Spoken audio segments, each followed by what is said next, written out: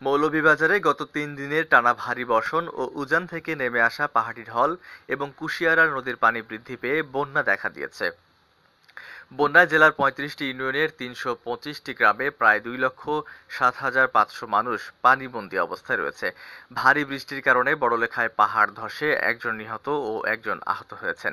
বিদ্যুতের সাব স্টেশনে বন্যার পানি প্রবেশ করা ইতিমধ্যে জুড়ি ও বড়লেখায় বিদ্যুৎ সরবরাহ বন্ধ রয়েছে।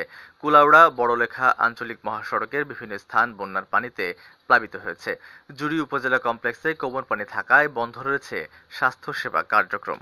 এদিকে জেলা প্রশাসন ও পানি উন্নয়ন বোর্ড বলছে, বন্যায় বড়লেখা উপজেলার বড়লেখা পৌর এলাকায় এবং দশটি ইউনিয়নের দুইশোটি গ্রামের এক লক্ষ ষাট হাজার মানুষ পানিবন্দী অবস্থায় রয়েছে।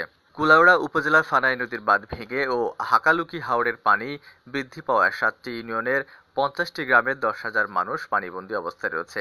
জুড়ি উপজেলায় তিনটি ইউনিয়নের আঠাশটি গ্রামের প্রায় ষোলো হাজার মানুষ পানিবন্দী অবস্থায় রয়েছে।